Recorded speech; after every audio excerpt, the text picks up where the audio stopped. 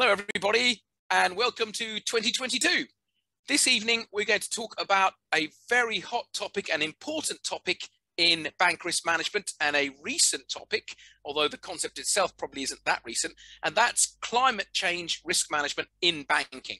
Climate change, of course, is something that is affecting the whole planet, but it has a particular impact in the banking and finance industry, which is why, as we're about to see, regulators have been pronouncing on this subject over the last couple of years. And so banks need to get up to speed on what they're doing in addressing climate change risk as it impacts them and their customers. Okay, so five minutes on this topic, and I'll be posting the slides separately, a separate post as well, because there's quite a lot of text here. We're going to rush through in only a few minutes. Okay, climate change. First of all, we're aware already that there's lots of risk exposures in a bank through its ordinary course of business, as you can see from there in front of you. But one of them now, which we're adding to this list in the last couple of years, is this one, climate change risk. It's something that uh, every bank needs to be uh, getting a hold of now. And as I say there on the slide, or as my friend Suborno Barrow says, it's a multi-dimensional discipline. It impacts many parts of a bank, and uh, it's got it's getting a high level attention from regulators and stakeholders alike what have certain regulators been saying? Well, there's a quote right there from an executive director of supervision at the Bank of England. This is uh, over a year old now. It's a quote from 2020 from Sarah Breeden, and that makes it fairly clear what uh, the regulatory authorities think of this topic. And uh, leaving aside this statement per se, as I say there on slide, uh, it's clear that banks must address climate risk and climate change risk. That's specifically the, the, expression I'm going to be using going forward, climate change risk, we've got to approach this from a multi-dimensional perspective, uh, from the top policy and the risk framework, but also strategy around the policy, the tactical approach, how one is going to deal with customers, customer origination, product origination, and of course the all important balance sheet risk management angle of this topic. And uh, there's a lot of um, uh, a lot of uh, text and pronouncements being said around the world uh, on this uh, on this topic. That's what I've got down there: climate change risk agenda.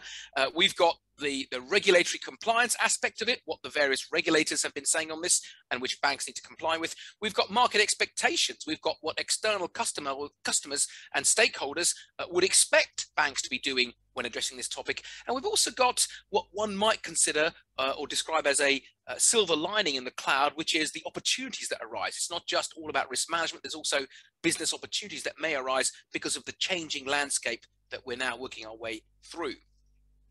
Uh, first of all, we should address, before we get into the, the, the detail, uh, we should be aware that when we speak of climate change risk, there's two types of risk, two main types of risk that we're concerned with. One is, of course, the more obvious one, physical risk, uh, which is uh, the, the, risk arising from uh, uh, environmental factors, weather factors because of climate change, so floods, for in increasing incidents, incidents of flood, forest fires, extreme weather events, uh, gradual changes like a rise in sea level. And then of course, that, that's physical risk. And also there is the transition risk because in addressing the, the, the risks uh, posed by climate change, we see transition in various parts of the economy.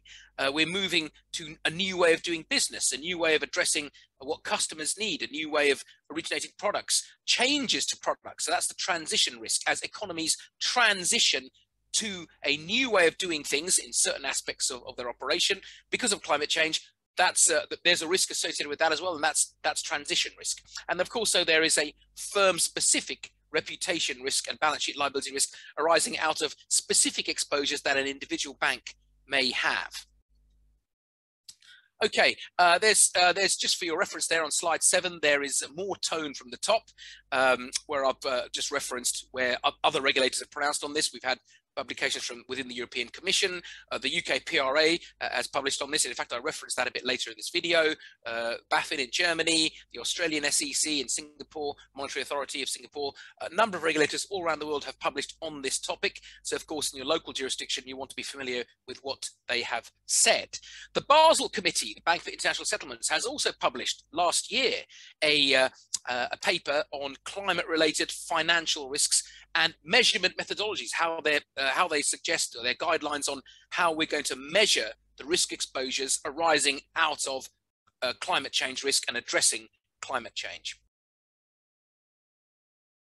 Now, here's an example, a specific example of regulated guidance. This one's from the UK Prudential Regulatory Authority. Uh, their guidance includes a supervisory statement from 2019, uh, which was called uh, Enhancing Banks and Insurers' Approaches to Managing the Financial Risks from Climate Change. So that's uh, obviously more than a couple of years now. Uh, in, in 2020, they had a Dear CEO letter to all bank CEOs about addressing this topic. And just uh, um, uh, last month was their date by which they expected compliance with their supervisory statement to be met by.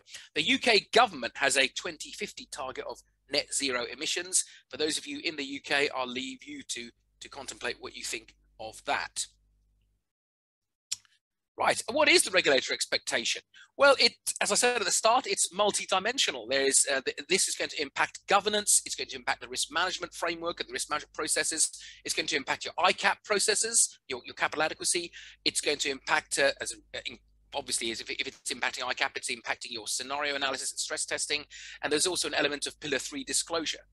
Uh, and um, in the UK, this has to be up to speed in terms of how the bank's addressing it by the end of last month, December 2021. In your own jurisdiction, you'll want to check what the deadline is for meeting enhanced uh, guidance or disclosure and, and, and new re regulatory compliance requirements uh, as a result of uh, climate change risk exposure.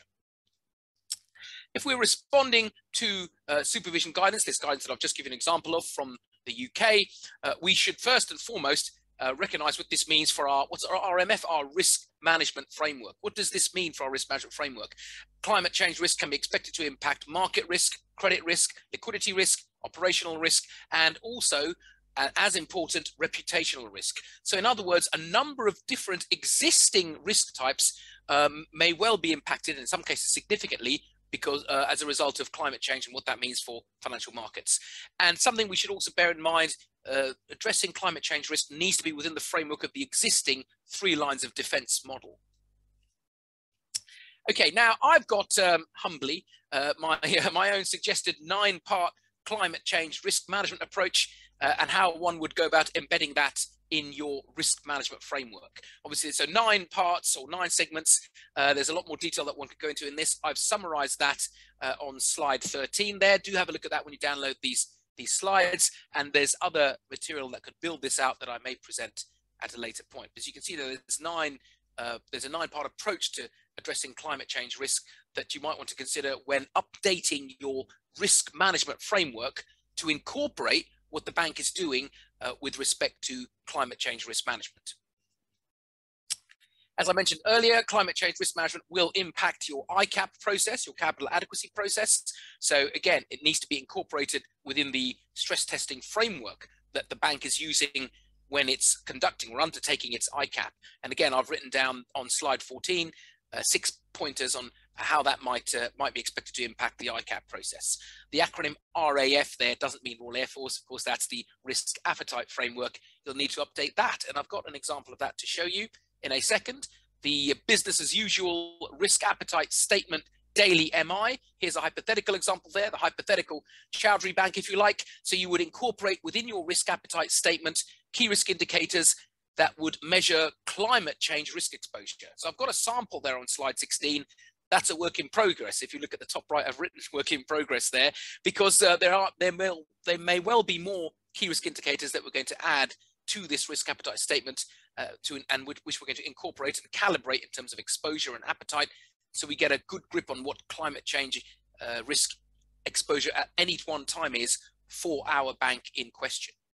Okay, well, that's a whistle stop tour through uh, climate change risk and what it means. Uh, there's a number of aspects to it, as I mentioned. First, there's the physical and the transition risks. And then secondly, there's the regulatory compliance element. And thirdly, there is the what does this mean for a bank's risk management framework and risk appetite statement. Okay, so from a banking perspective, from your bank's perspective, we wish to understand the external environment, we need to understand regulatory requirements, and then we need to understand what this means for our risk management framework. We also need to understand what this means for our business going forward in terms of products, how we address the customer perception, stakeholder requirements. Uh, customers like to see banks also getting engaged in this space. Uh, the ESG acronym there, of course, environmental sustainability. Uh, that's an important aspect of all of this as well.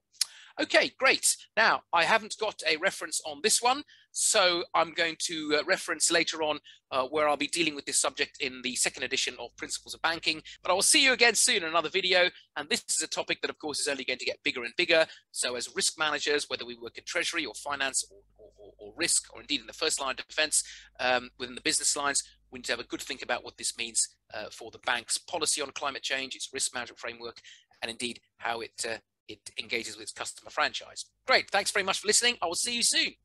Have a good day. Bye bye.